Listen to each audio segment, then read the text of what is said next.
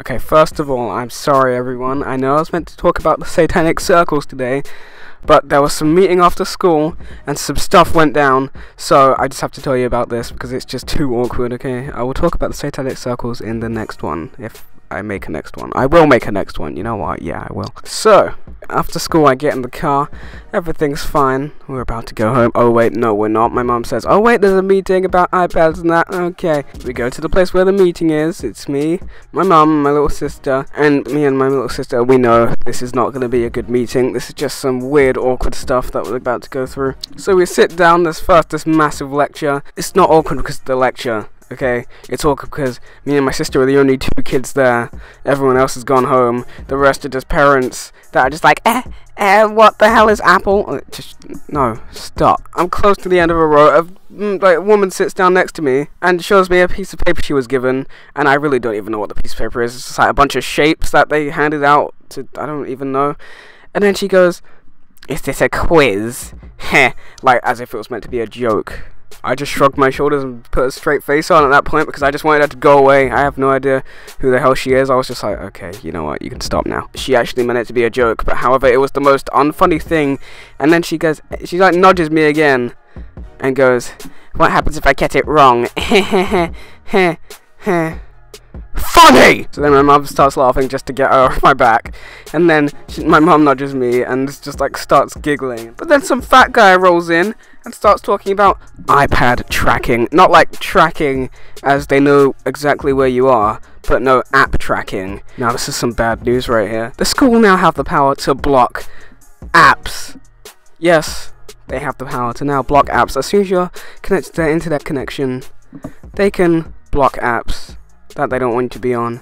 So, Dishwasher Slither.io is now banned. Well, they might not know about it. You might still be alive.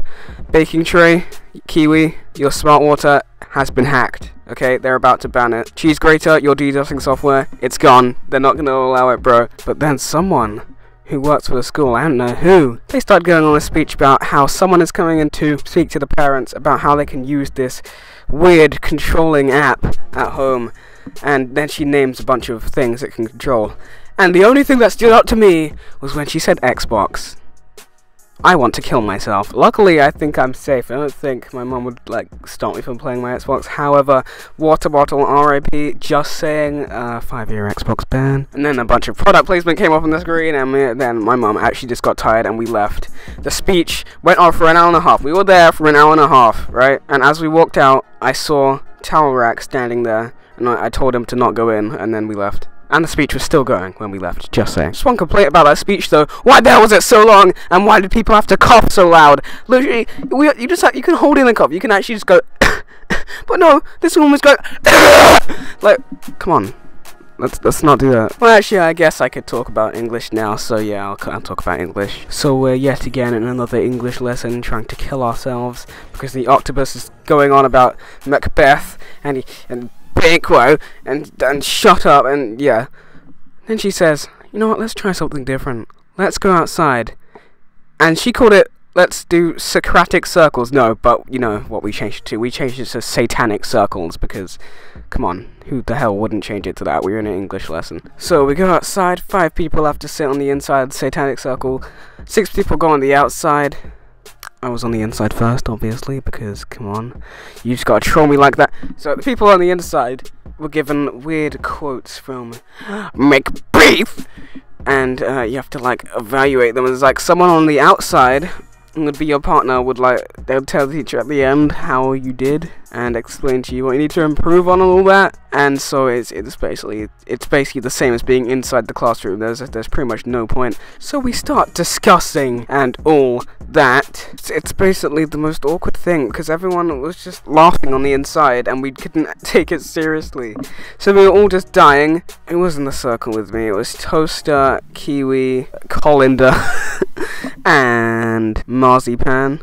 So marzipan and toaster were definitely dying on the inside along with me because I, I was about to explode. But you know what? I, I couldn't because I, I would have died in real life. Luckily, Hagrid was my partner at the end, so he did say some great things about my discussion, even though I said literally one line. And you know, but then you know, Octopus is just like, Macbeth, Macbeth, stop, stop, please.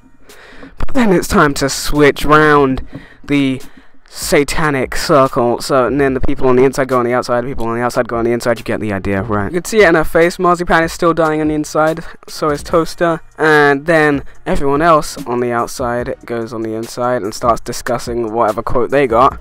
Water Bottle goes on some weird drugs. Start talking about arcade claw machines. He's just like, so when the arcade claw machine doesn't work, do you get angry at the claw machine or the people who made the claw machine? What the hell are you talking about? I mean, I know what you were talking about, but really, was the cocaine necessary at this point? Eh? But anyway, I think that brings us to the end. So, baking tray, don't let your smart water get hacked. You might want to keep that. And I am certainly not letting them take my Xbox because I swear, if my mom downloads that weird stuff that possesses other people's stuff, I will possess everything.